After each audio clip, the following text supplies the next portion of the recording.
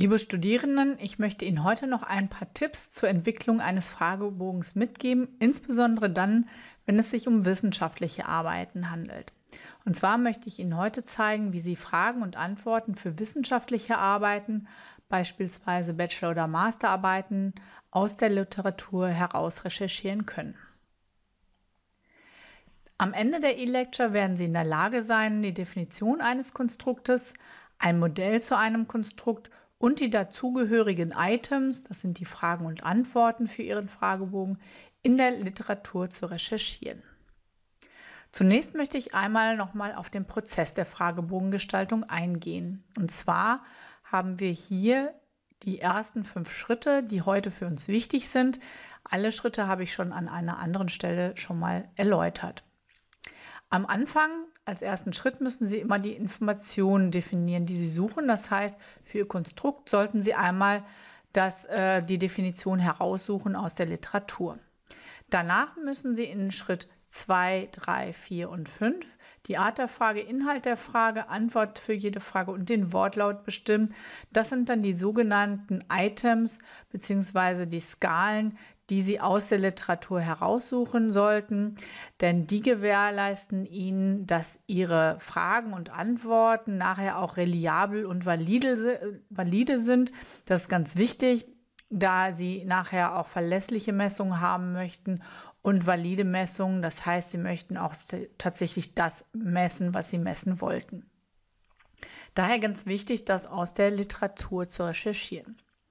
Das hört sich jetzt alles ganz schwierig an, ist es aber nicht. Ich mache das mal an einem Beispiel klar. Und zwar geht es heute um die Adoption von verschiedenen Zukunftstechnologien im stationären Einzelhandel. Der Begriff Adoption, der ist ja nicht einfach, der ist sehr vielschichtig und kann auch nicht mit einer Frage allein gemessen werden. Zum Beispiel können Sie sich nicht vorstellen, ja, oder Sie können sich schon vorstellen, die Probanden zu fragen, wie sieht es eigentlich mit der Interaktion mit einem gewissen neuen Produkt aus, dann sind die Antworten, ja, die können Sie eigentlich vergessen, weil der Befragte gar nicht weiß, was er dazu sagen soll, weil er das Wort nicht kennt.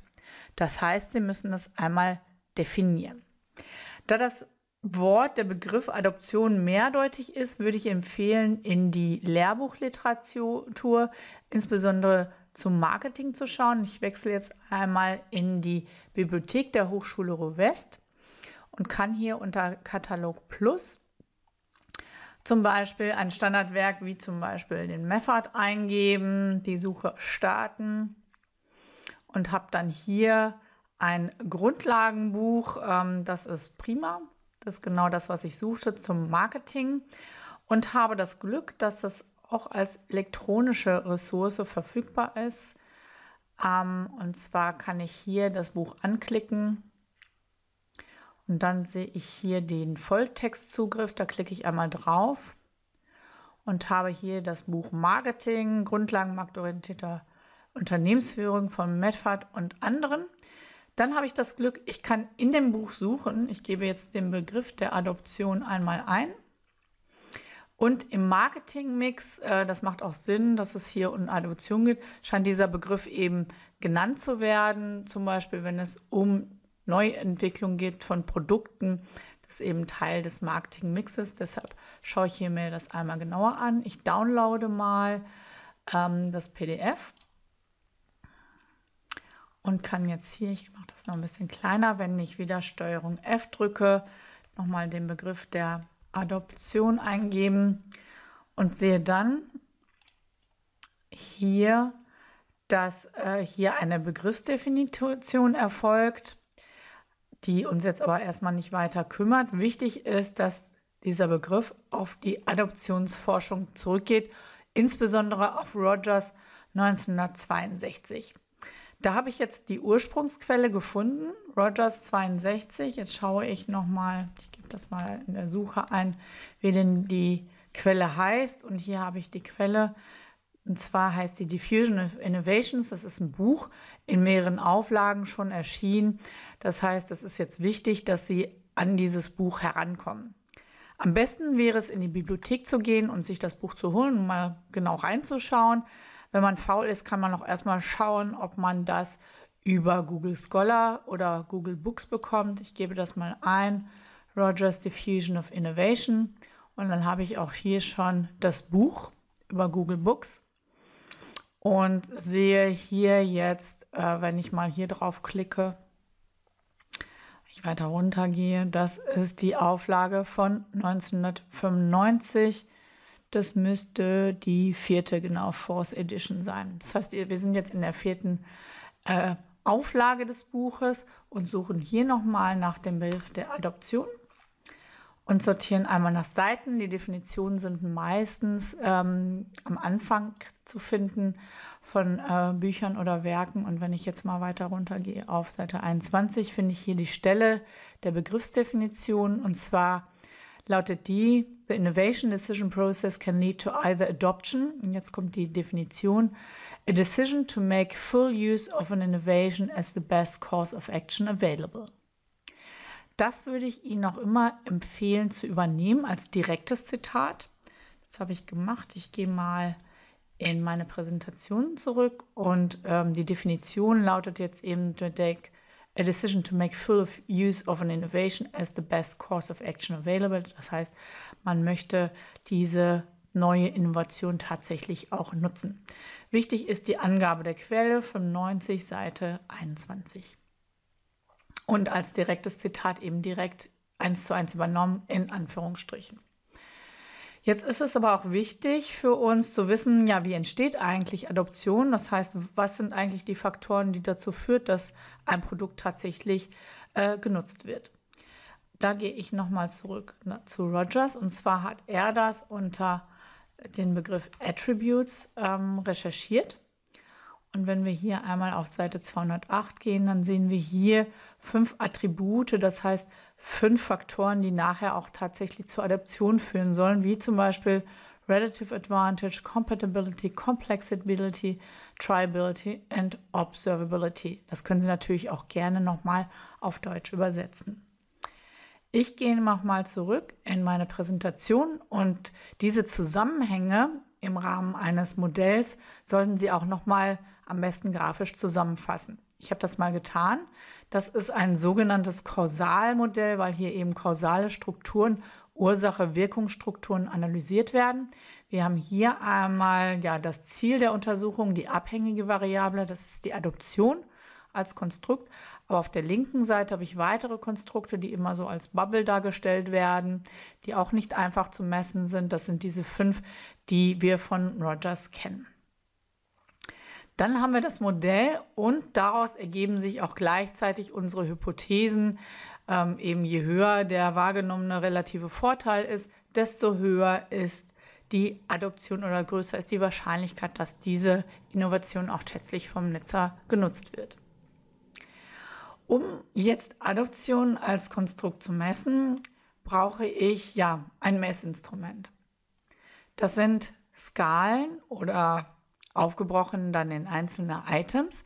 Zwar als Konstrukt könnte hier links oben drüber stehen zum Beispiel die ähm, Adoption und das wird aufgebrochen in verschiedene Items. Das sind Aussagen zu diesem Konstrukt. Man versucht hier die einzelnen Facetten dieses Begriffes, dieser, dieses Phänomens abzugreifen, indem man es aufbricht. Entschuldigung. Das wollen wir nun auch noch einmal recherchieren. Und sage ich dazu nochmal ähm, zurück in meinen Browser, und zwar in Google Scholar und überlege jetzt, wie kann man denn Adoption of Innovation, wie kann man das messen? Und da würde ich Ihnen empfehlen, immer den englischen Begriff einzugeben und dann mal Measurement oder Measurement Scales einzugeben. Und da finden Sie an erster Stelle einen Artikel von Moore und Benbasset aus dem Jahr 1991, erschien in Information Systems Research. Man sollte darauf achten, dass die Quelle aus dem BWL-Bereich kommt, am besten. Aber die Adoptionsforschung hat auch eine gute Tradition in der Informatik, in der Wirtschaftsinformatik. Von daher ist es eventuell auch hilfreich. Zitiert von 8781 ähm, Artikeln. Das heißt, das ist schon eine sehr, sehr gute Zahl. Das heißt, hier haben Sie eine ganz gute Quelle, die auch tatsächlich häufig zitiert wurde. Wir können uns den Artikel auch einmal runterladen. Und hier einmal reinschauen, und zwar, wenn wir weiter runter scrollen, finden wir die einzelnen ja, Attribute oder Einflussfaktoren auf die Adoption. Sie sehen auch hier, ähm, die Messung ist in der Tradition von Rogers erfolgt. Das heißt, Sie sollten immer darauf achten, dass Definition und Messung nachher auch im Einklang sind. Und hier sehen wir die einzelnen Attribute nochmal nett definiert. Aber was für uns auch ganz wichtig ist, wenn wir an das Ende scrollen in den Appendix oder Anhang, dann haben wir bei vielen Forschungsartikeln auch immer, hier haben wir sie, die einzelnen Items, ich mache es nochmal ein bisschen größer, mit den Konstrukten. Wir sehen hier kursiv die einzelnen Konstrukte und wir sehen in kursiv hier zunächst Relative Advantage. Das ist auch eines der Konstrukte von Rogers gewesen. Und zu dem Konstrukt die einzelnen Aussagen. Zum Beispiel, using a PWS enables me to accomplish tasks more quickly. PWS ist hier jetzt die Innovation. Und die kann man dann nehmen, um die in seinen Fragebogen einzubauen. Man kann auch noch mal weiter runter scrollen, sind noch mehrere da. Ähm, hier gibt es auch noch mal Notes dazu. Aber was auch noch mal wichtig ist, Moore und Benbasset haben ihre Forschung ein bisschen angepasst, haben zum Beispiel auch Ease of Use mit reingenommen. Ease of Use kommt, äh, ist eine Variable, ein Konstrukt aus dem Technology Acceptance Model von Davis 1989 und haben da auch ein bisschen stibitzt um sich dann ja ihr eigenes Modell zusammenzubasteln. Für sie ist immer wichtig zu überlegen, was brauche ich jetzt für meine Forschung tatsächlich, sollten das auch nochmal gut auswählen, welche Konstrukte, welche Variablen sie mit reinnehmen, das am besten auch nochmal mit Experten spiegeln. Aber das ist zum Beispiel ein gutes ähm, Paper, das sie nehmen können, um ihre Items zusammenzusuchen. Würde ich mir auch immer mal eine Liste machen, damit man nicht den Überblick äh, verliert. Man sucht sich dann die Items raus zu dem Konstrukt, die auch schon mal getestet worden sind. Diese Items zusammen, das müssen jetzt nicht hier fünf sein, es können noch mehr sein, es können noch weniger sein, kann ein, zwei, drei Items sein. Die heißen dann zusammengenommen Item Batterie. Und wie gesagt, es ist ganz wichtig, dass Sie das aus der Literatur übernehmen, weil dann können Sie sicher gehen, dass Ihre Skalen, Ihre Messungen dann auch reliabel und valide sind. Um das zu ja, festzustellen, um so eine eigene Item-Batterie zu konstruieren, selber zu machen. Dafür brauchen Sie schon sehr viel Zeit und das ist meistens nur in Doktorarbeiten möglich, nicht aber in Bachelor- oder Masterarbeiten. Das war mir nochmal ein ganz wichtiges Anliegen für wissenschaftliche Arbeiten. Bitte Definition und Messung immer aus der Literatur heraussuchen, recherchieren. Und ich danke jetzt an dieser Stelle für Ihre Aufmerksamkeit und freue mich über viele Kommentare und gegebenenfalls auch Fragen. Vielen Dank.